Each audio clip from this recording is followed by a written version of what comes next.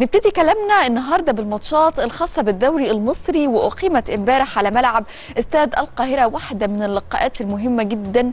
ليه مهمة؟ لأني بتكلم على فريقين بيصارعوا بعض.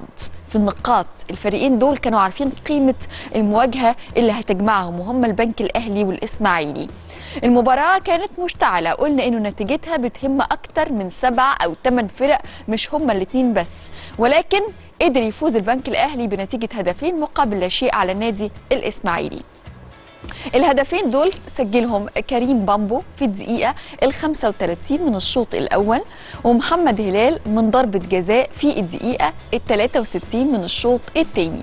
ده غير طبعا الهدف اللي تم إلغائه من قبل الحكم إبراهيم نور الدين لفريق البنك الأهلي وده كان في بداية المباراة ولكن اتجددت الآمال تاني عند فريق البنك الأهلي وقدر يعوض الهدف اللي تم إلغائه ويحرز هدفين تانيين. فرض المدرب بابا فاسيلي وأسلوب لعب على المباراة في المقابل الناحية الثانية النادي الإسماعيلي ظهر بمستوى هقول عنده مشاكل كتيرة.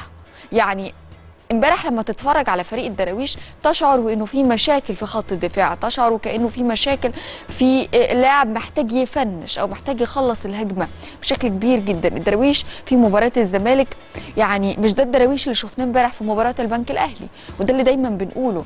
الفرق دايما بتبذل أقصى جهد عندها أمام مباريات القمة أو الفرق الجماهيرية. ولكن بنقول إنه في بعض المباريات بتلاقي الدوافع مختلفة. ده مش تقليلا من الفرق الأخرى ولكن بنتمنى نشوف كل المباريات على نفس المستوى. مفيش فريق ضعيف ولكن في فريق ممكن يختار إنه يكون مش على نفس المستوى في مباراة عن الثانية امبارح شفنا الإسماعيلي مش هو الإسماعيلي اللي قابل واجه أو واجه نادي الزمالك اللي قدر يفوز وقتها بنتيجة هدفين مقابل هدف امبارح بيخسر بنتيجة هدفين مقابل لا شيء. بالفوز ده صعد البنك الأهلي للمركز ال 15 برصيد 28 نقطة. في المقابل بيتوقف رصيد النادي الإسماعيلي عند النقطة 29 في المركز ال 14 عشان هنا يشتعل مرة ثانية صراع الهبوط بقوة ما بين أكثر من سبعة أو ثمان فرق من أول المركز ال 11 سيراميكا كليوباترا مع أسوان غزل المحلة الإسماعيلي.